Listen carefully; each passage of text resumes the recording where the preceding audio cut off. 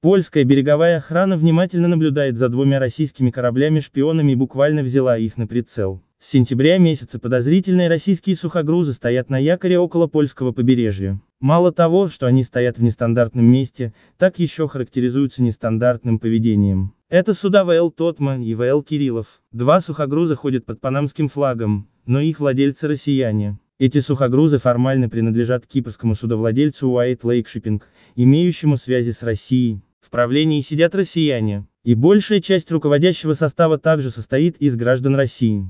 Кроме того, в августе 2022 года эта компания через свою дочернюю компанию Gravelor купила несколько судов у российской государственной лизинговой компании ГТЛК, которая, кстати, находится под санкциями ЕС и США. Оба корабля бросают якорь в исключительной экономической зоне Польши, в 26 километрах от польского побережья в районе Демпки. Время от времени каждое судно возвращается в порт Балтийск на несколько дней, прежде чем вернуться к побережью Польши. Оба корабля периодически выключают системы идентификации АИС, из-за чего становится сложнее отслеживать их положение. Тотма и Кириллов стоят точно на пути судоходства из портов Троймяста в шведскую Карлскруну. Пассажирские суда, идущие по этому маршруту, вынуждены обходить якорные стоянки россиян. То же самое и с танкерами, которые перевозят топливо из Швеции в Польшу. Российские корабли-шпионы, по всей видимости, пытаются контролировать морские перевозки, которые идут в польские порты в Гданьском заливе. Морская пограничная служба Польши знает о подозрительных судах.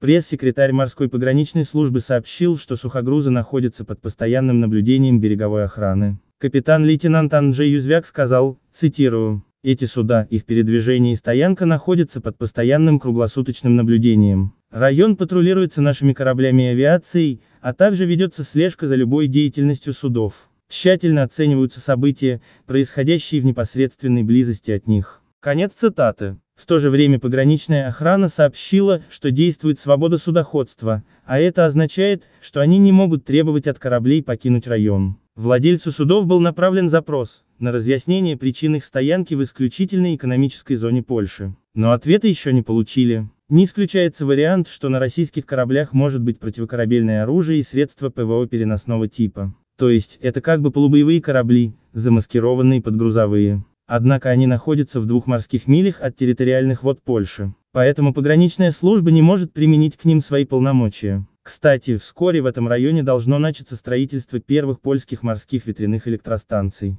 А в будущем поблизости будет проложен подводный кабель постоянного тока Гармони Линк. Он должен помочь странам Балтии десинхронизировать энергосистему от постсоветской БРЭЛ. Стоит учесть, что в Гдыне находится большое количество польских боевых кораблей. И если какие-либо действия российских судов им покажутся сильно подозрительными, то пару залпов по россиянам и они пополнят коллекцию посудин, находящихся на морском дне. Не исключено, что россиян как раз и интересует польский боевой флот. Полякам же рекомендую быть внимательными, чтобы случайно эти российские суда не прошли на быстром ходу в сторону бухты и не заблокировали выход польских кораблей. Нужно всегда быть начеку. Ставьте лайки, подписывайтесь на канал, жмякайте колокольчик.